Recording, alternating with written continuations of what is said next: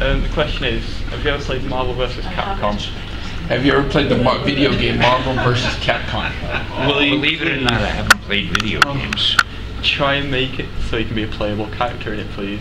Oh, I'm going to be a playable character. in Will- s- What's the game? And the new Spider-Man game he's coming out. He's a Really? playable character. done by Activision. I'm going to be a character in Now that, that, that's the game. first.